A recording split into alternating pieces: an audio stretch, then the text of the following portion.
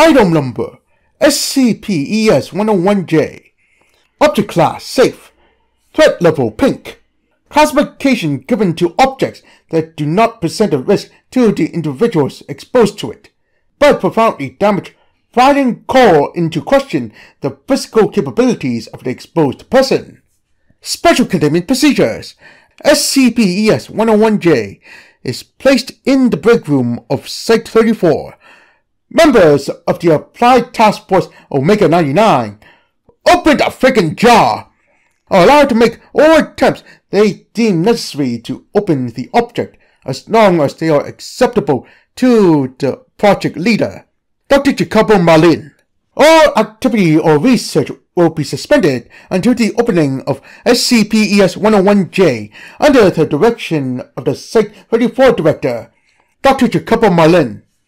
Description SCP-ES-101-J is a glass jar containing mango marmalade.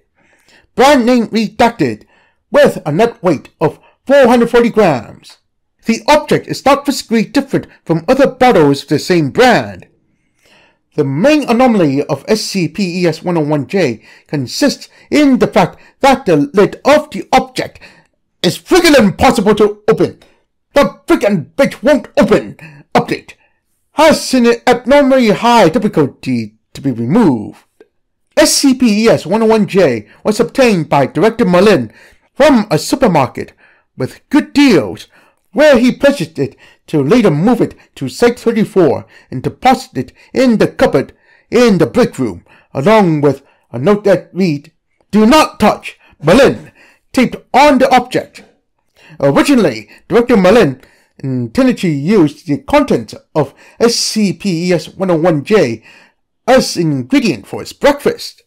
The morning following the purchase of SCP-ES-101-J, the director attempted to remove the lid of the object several times without success.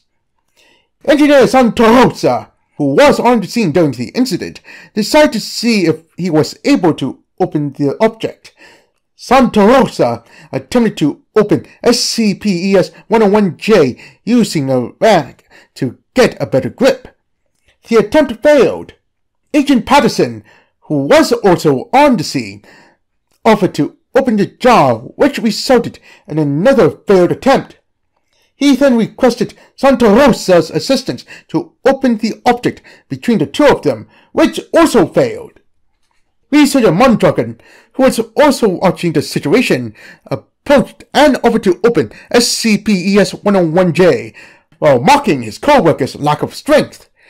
After spending about 40 minutes trying to open SCP-ES-101-J using brute force as well as cutlery, Mondragon gave up and the attempt was unsuccessful. Upset by the situation, Director Malin declared SCP-ES-101-J an anomaly and formed ATF Omega-99. The detachment included many of the Site-34 personnel and members of the MTF stationed at the site. Director Malin stated to the newly formed Omega-99 the following words. Nobody leaves until they open the frickin' jar! The individual known as Nobody left Site-34 stating that he would return later at the time of the creation of Omega-99.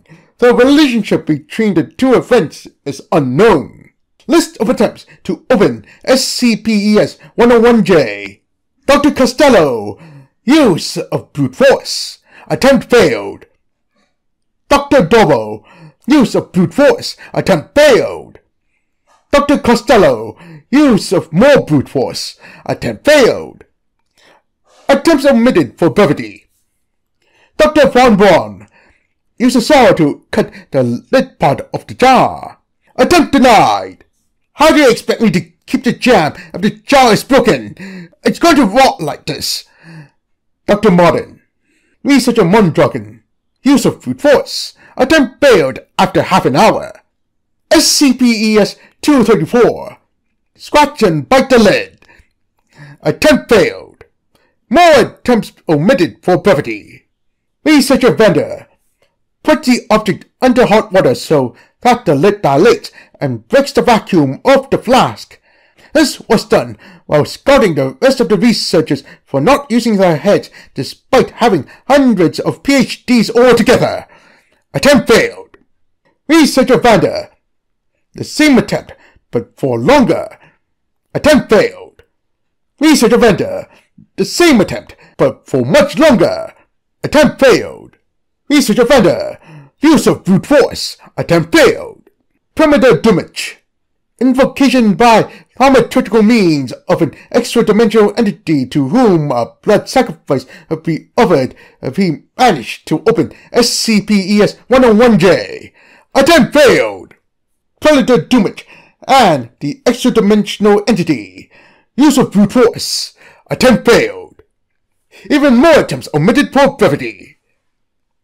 Three members of MTF Center 8 SCP-ES-101-J is held by a press while lid by a wrench. The MTF members would jointly push the wrench so that their combined force opens the jar. Attempt failed. The MTF members hit the ground hard when the wrench broke. Researcher Delaroy. A baseball bat. Attempt denied. Researcher Delaroy was admonished. Dr. Gonzalez. Use of brute force. Attempt failed. Dr. Gonzalez, firing a 9mm at the jar. Attempt averted. The bullet bite ricocheted against the wall and almost wounded Agent Pence. Dr. Gonzalez was reprimanded. Update. After an appeal by the implication, it was decided to withdraw the reprimand. This is unfair. Agent Pence. Yes, Researcher Delaroy. Get a gun and then you will have your justice. Dr. Gonzalez.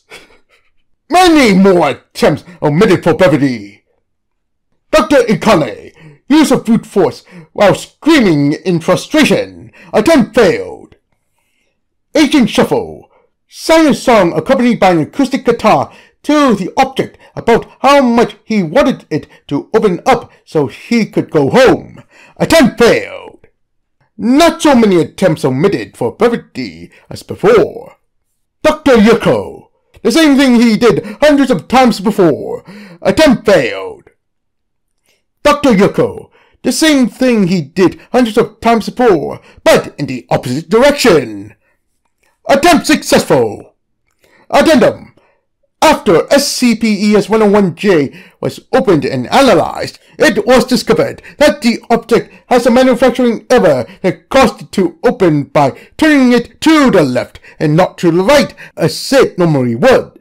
Following this discovery, SCP-ES-101-J was reclassified as explained.